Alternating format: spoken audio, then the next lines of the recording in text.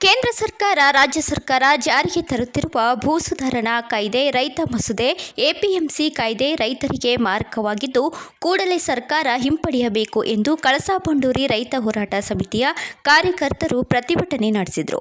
ನಗರದಲ್ಲಿಂದು ತಹಸೀಲ್ದಾರರ ಕಚೇರಿ ಎದುರುಗಡೆ ಪ್ರತಿಭಟನೆ ಮಾಡಿ ಕೇಂದ್ರ ಹಾಗೂ ರಾಜ್ಯ ಸರ್ಕಾರದ ವಿರುದ್ಧ ಆಕ್ರೋಶ ವ್ಯಕ್ತಪಡಿಸಿದರು.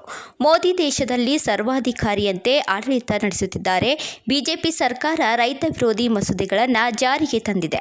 ಇದು ರೈತರ ಪರವಾಗಿಲ್ಲ, ಮರಣ ಶಾಸನವಾಗಿರುವ ಕೃಷಿ ಉತ್ಪನ್ನ ಮಾರಾಟ ಮತ್ತು ವಾಣಿಜ್ಯ ಉತ್ತೇಜನ ಮತ್ತು ಸೌಲಭ್ಯ ಮಸೂದೆಗೆ ಒತ್ತಾಯ ಮೂಲಕ ಅಂಗೀಕಾರ ಪಡೆಯುವ ಮೂಲಕ ರೈತರಿಗೆ ಮೋಸ ಮಾಡುತ್ತಿದೆ ಎಂದು ಆರೋಪಿಸಿದರು. ಕೇಂದ್ರ ಹಾಗೂ ರಾಜ್ಯ ಸರ್ಕಾರ ರೈತ ವಿರೋಧಿ ಕಾಯ್ದೆಯನ್ನ ಹಿಂಪಡೆಯದಿದ್ದರೆ ಇಪ್ಪತ್ತೆಂಟು ಕರ್ನಾಟಕ ಬಂದ್ಗೆ ಕರೆ ನೀಡಲಾಗುತ್ತೆ ಎಂದು ಎಚ್ಚರಿಕೆ ನೀಡಿ ತಹಸೀಲ್ದಾರರ ಮುಖಾಂತರ ರಾಜ್ಯ ಹಾಗೂ ಕೇಂದ್ರ ಸರ್ಕಾರಕ್ಕೆ ಮನವಿ ಸಲ್ಲಿಸಿದರು. ಬಿ ನರೇಂದ್ರ ಮೋದಿಯವರ ನೇತೃತ್ವದ ಸರ್ಕಾರ ದೇಶದಲ್ಲಿ ಅಧಿಕಾರಕ್ಕೆ ಬಂದ ಮೇಲೆ ಇವತ್ತು ಪ್ರತಿದಿನ ಒಂದೊಂದು ಕಾನೂನುಗಳನ್ನು ಜಾರಿಗೆ ತರ್ತಾ ಇದೆ. ಅದರಲ್ಲಿ ಪ್ರಮುಖವಾದಂಥದ್ದು ಭೂ ಕಾಯ್ದೆ. ಹಿಂದಿನ ಸರ್ಕಾರ ಉಳೋನೆ ಭೂಮಿ ಒಡೆಯ ಅನ್ನುವಂಥ ಕಾನೂನು ತಂದು ಈ ದೇಶದ ಜನರಿಗೆ, ದುಡಿಯ ಕೈಗಳಿಗೆ ಅವರಿಗೆ ವ್ಯವಸಾಯ ಮಾಡಲಿಕ್ಕೆ ಭೂಮಿಯನ್ನು ಕೊಟ್ಟಿತ್ತು. ಎ ಪಿ ಎಂ ಸಿ ಕಾಯ್ದೆ ರೈತರು ಬೆಳೆದಂಥ ಬೆಳೆಗಳನ್ನು ನೇರವಾಗಿ ಮಾರುಕಟ್ಟೆಗೆ ಹೋಗಿ ಮಾರಾಟ ಮಾಡುವಂಥ ಒಂದು ವ್ಯವಸ್ಥೆ ಮಾಡಿಕೊಟ್ಟಿತ್ತು. ಆದರೆ ಇವತ್ತು ಈ ಖಾಸಗೀಕರಣ ಮಾಡೋದಕ್ಕೆ ನಾಳೆ ದಿನ ನಾವೇನು ನಮ್ಮ ಬೆಳೆದಂಥ ಬೆಳೆನ ಮಾರಕ್ಕೆ ಹೋಗ್ತೇವೆ ಅದರ ಜವಾಬ್ದಾರಿ ತಗೊಳ್ಳೋರು ಯಾರು? ಆ ಒಂದು ಮಾರ, ಮಾರಾಟ ಮಾಡಿದ ಮೇಲೆ ಅಲ್ಲಿ ಇರುವಂಥ ಜವಾಬ್ದಾರಿ ತೊಗೊಳ್ಳೋಂಥ ಇವತ್ತು ಅಂಗಡಿಕಾರ ಇರೋದಿಲ್ಲ ಯಾರೋ ಒಬ್ಬ ಮೂರನೇ ವ್ಯಕ್ತಿ ಬರ್ತಾನೆ, ನಮ್ಮ ಬೆಳೆದಂಥ ಬೆಳೆಯನ್ನು ಖರೀದಿ ಮಾಡ್ತಾನೆ. ಆದರೆ ಆ ಬೆಳೆಗೆ ನಿಗದಿತ ಬೆಲೆ ಕೊಡೋಕ್ಕಾಗೋದಿಲ್ಲ. ಆಮೇಲೆ ನಮ್ಮ ಆ ದುಡ್ಡಿಗೆ ಯಾರು ಜವಾಬ್ದಾರು? ಮತ್ತು ಇವತ್ತು ವಿದ್ಯುತ್ ಕಾಯ್ದೆ.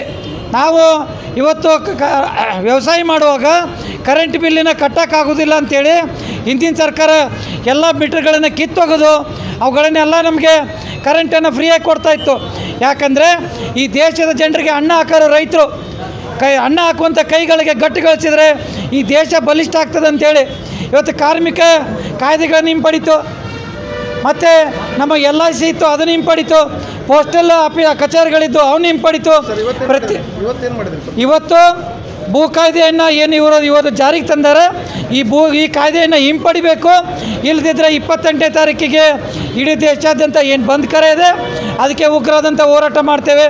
ಮತ್ತು ಎ ಪಿ ಎಂ ಸಿ ಕಾಯ್ದೆ ನಿಮ್ ಏನು ಜಾರಿಗೆ ತಂದಾರ ನಿನ್ನೆ? ಹೋರಾಟ ಮಾಡುವ ಸಂದರ್ಭದಲ್ಲಿ ಕೂಡ ಏನು ಜಾರಿಗೆ ತಂದಾರ? ಆ ಕಾನೂನನ್ನು ಹಿಂಪಡಿಬೇಕು ಮತ್ತು ವಿದ್ಯುತ್ ಕಾಯ್ದೆಯನ್ನು ಹಿಂಪಡಿಬೇಕಂತೇಳಿ ಇವತ್ತು ಹುಬ್ಬಳ್ಳಿಯ ಸಂಗಳೂರಿನ ಸರ್ಕಲಲ್ಲಿ ಟೈರ್ಗೆ ಬೆಂಕಿ ಹಚ್ಚಿ ಸಾಮೂಹಿಕವಾಗಿ ಹೋರಾಟ ಮಾಡೇವೆ. ಕಾನೂನನ್ನು ಹಿಂಪಡಿಲಿಲ್ಲ ಅಂದರೆ ಉಗ್ರವಾದಂಥ ಹೋರಾಟ ಮಾಡ್ತೇವೆ ಅಂತೇಳಿ. Big TV news Hubballi